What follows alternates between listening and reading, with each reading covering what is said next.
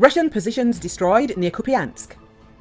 In the vicinity of Kupiansk, in the Kharkiv region, border guards with a precise shot from a combat drone incinerated an army bunker and Russian invaders' equipment, reports the State Border Guard Service of Ukraine. A strike from a drone was carried out by reconnaissance personnel of the Steel Border Guard Brigade.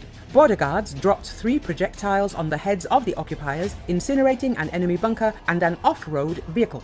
On December the 9th, border guards shot down an enemy FPV drone with an anti-drone gun over the Sumy region. The drone lost altitude and fell to the ground, and a few days ago, Ukrainian border guards liquidated the Russian Ural in the Kupiansk direction. Now, the enemy does not stop their attempts to attack Ukrainian defenders along the entire line of responsibility of the Khortytsia grouping of troops. On the Kupiansk axis, there were seven assaults near Synkivka, the enemy is trying to advance to the outskirts of the settlement in order to form a bridgehead for the attack on the city of Kupiansk, an important logistics center through which, during the previous occupation, the enemy would bring in supplies. The Russians launched 14 airstrikes, employing the entire arsenal of aviation bombers, attack aircraft, and fire support helicopters. Guided aerial bombs were used over the past day. Vladimir Fitio, the chief press officer for the ground forces, said,